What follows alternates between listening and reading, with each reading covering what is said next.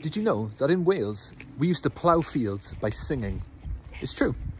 Back in the day, when we used cattle to plough fields, we'd have someone who'd stand in front of the cow, walk backwards and sing.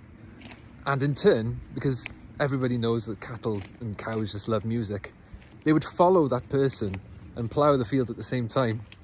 It's amazing. And we have hundreds of these songs known as Tribanau. And uh, here's one of them. O Mari Mari Coen, mae heddwn for y mwyn. Mae'r adar bach yn twnio a'r gwcw yn y lloi. Hwmlan, hwmlan. O Mari Land y Foch, mae nawr yn un o'r gloch.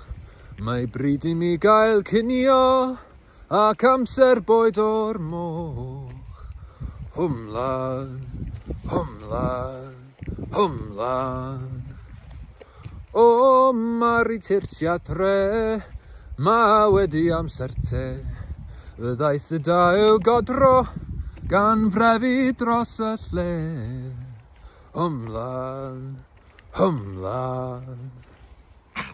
O mari daeth yr haf, ma hyn o'n noson braf. Y ddwy di mas i'w rodio, oedd am ai ffan o'n taf. Hwmlan, hwmlan, hwmlan.